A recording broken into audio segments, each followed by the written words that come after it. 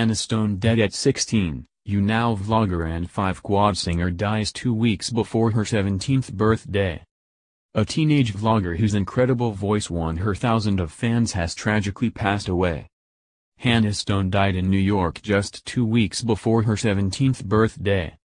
The internet star was followed by 375,000 people on the YouNow live streaming website. The talented singer was listed as an editor's choice on the site under the singing section. Her original song called the 5quad Song, dedicated to the former social media group 5quad, was viewed by 72,000 people on YouTube. An obituary posted on her local funeral home website said she died in a hospital in Syracuse with her loving family by her side.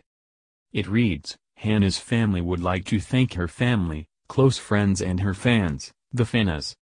Reports of her death first emerged on the Superfame website. She last posted on Twitter on September 16 and on Instagram on October 14.